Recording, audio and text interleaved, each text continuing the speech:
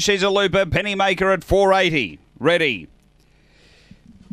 And away, Pennymaker out quickly. He's going to go through and get the lead early. Regal Looper was next, and then came Lockling, but Pennymaker a clear leader.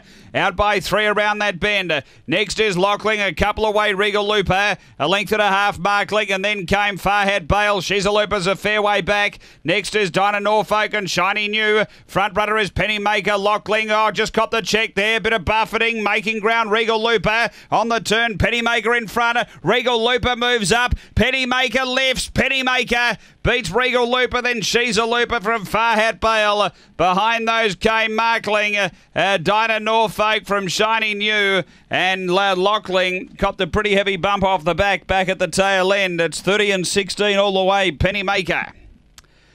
Numbers are 4, 5, 6, and 3. Pennymaker number 4, Nicole Price for CNY Butcher. A uh, black bitch made 2014.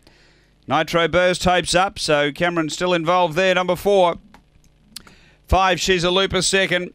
Cameron Butcher, Brindle Bitch, December 2013, Oaks Road, Little Looper.